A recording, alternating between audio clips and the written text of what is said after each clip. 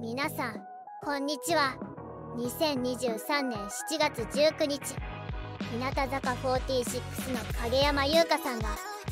卒業しました。影山さんはサッカーの知識を生かしサッカーワールドカップに関連するメディアへの出演。さらにはクイズや謎解きに関しても才能を遺憾なく発揮し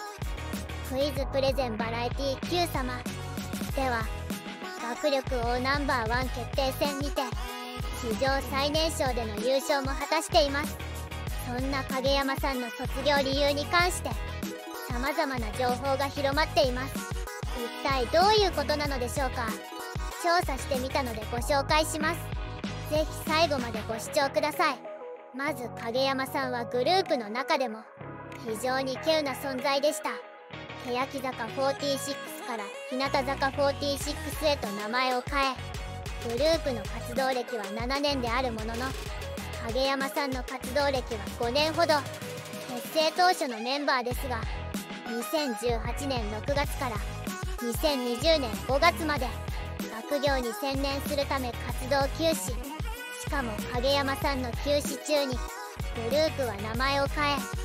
大きくなっていきました。重要な時期に活動から距離を置いていたため改名後からファンになったというファンも多いようです。活動再開からたった3年で2年間の空白を見事に払拭してみせた影山さんでしたが昨年より耳の不調によりライブ活動を欠席する機会が増えていました。そんな中今年2月に卒業を発表。まだ早すぎるという反響とともに事情が事情だけに仕方ないという声も少数ながらも見受けられました。卒業を決めていたのは2022年の夏頃大きな音に過敏に反応してしまう耳の特性が理由だと言います。影山さんはもともと目や耳鼻の感覚が鋭く繊細なのかなと感じていたそう。加入当時からライブで音が大きいなと思っていたそうで日向坂46のライブ会場が大きくなるにつれてみんなと同じレベルで大きな音についていくのが難しくなってきたため心の中で決める前1年以上前からスタッフに個別で対応してもらい迷惑をかけながらやりくりしていたといい。気力だけではどうしようもなくなり活動の中でもライブが一番好きだという影山さんは次のライブがあるから頑張ろう。ライブがモチベーションの軸だったそうでそれがままならなくなった以上は自分の新しいやりがいを見つける方が今後の人生のためになるんじゃないかと思い卒業を決めたのです。卒業発表時数ヶ月間は毎日家で悩んで泣いていたことを明かした影山さん。もともと感受性が強く悲しい映画や小説ニュースやバラエティのドッキリにもかわいそうと思い涙が出やすい人間だったと言います。影山さんは卒業セレモニーを行ったのですが1期生がこういった形で送り出されたのは今回が初めて耳の不調が原因で長時間のライブも難しいことからライブの曲数も通常の卒業セレモニーよりも絞られることが事前に予想できどんな内容のイベントになるのかファンからは大きな注目を集めていました。しかし影山さんの卒業理由をファンの中には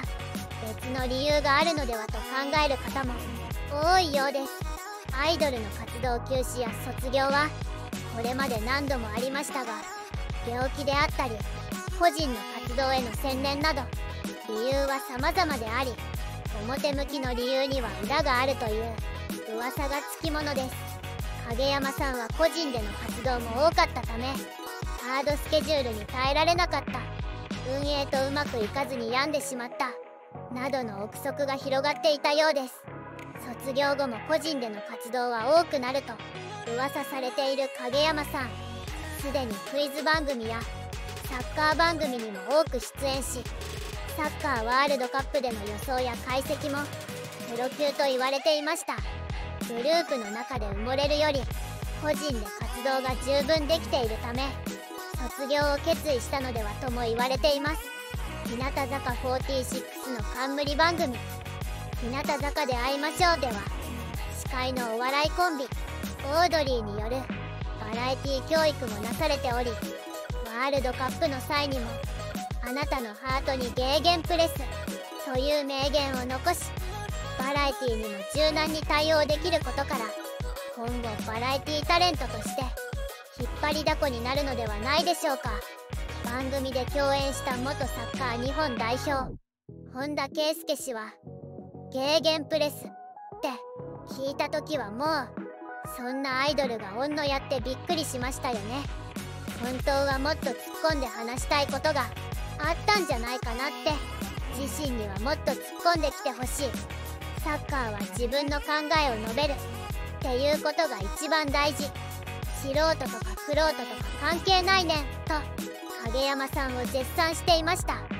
影山さんの卒業発表時悲しみの声が多数上がる中で一部では嫌いだという声も上がっていたといいます。影山さんは才女であることから知識が豊富です。その知識を披露した時にそれがマウントを取っているように見えたり知識をひけらかしているように映っていたのではないでしょうか。マウントを取っているという部分では影山さんは過去に番組で自身の理想の男性像を発表した際に私より頭が良い私より足が速い私より早寝早起きという3つを理想像に掲げたのですが頭がいいという部分がプチ炎上しています。というのも影山さんは筑波大学附属高等学校を卒業しており偏差値78の学校に通っていた。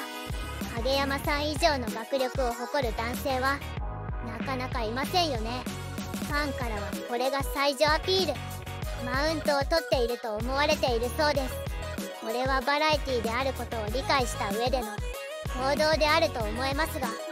悪い印象を持たれてしまうというのも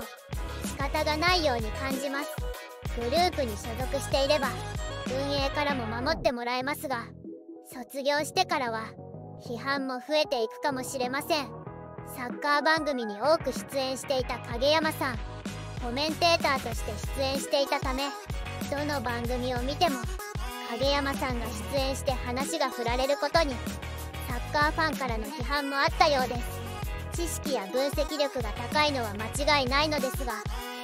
生粋のサッカーファンからすればサッカーに詳しいアイドルよりも元日本代表の選手の話や解説者のコメントを聞きたいのは当然です。これは影山さんが悪いわけではないので判断が難しいですよね。こういったファンからの声も感受性の強い影山さんにとっては辛いことであり卒業につながったのではないでしょうか。もともとの体の特性と説明されていますがこういった批判や学業仕事のストレスからの症状である可能性もありえるかもしれませんね。いかがでしたでしょうか。今回は影山優香さんの卒業理由についてご紹介しました。影山さんは日向坂46で得たものはという質問に最終審査の合格発表日5月8日は私の誕生日なんです。1期生の加入日私の誕生日が重なった。人生が変わった日からずっとご縁に恵まれてきました。素敵な1期生のメンバースタッフさんに出会えたのも自分一人では叶えられなかった。大きな夢やお仕事が叶ったのも全てご縁だったので人と人とのつながりなので人に信頼されたり助けを求めたりできる関係性は自分の見ている世界を変えられるパワーを持っているんだとグループの活動を通して感じました。卒業後にどんな未来を描けるかわからないけど人のためになることはやりがいもあるし人生とまで言わなくとも少しでも誰かをちょっと明るく照らせるような人間になれたらと思います。と答えていました。今後も素直で明るく元気な影山さんの活躍に注目ですね。最後までご視聴いただきありがとうございます。コメントを残してくれると嬉しいです。チャンネル登録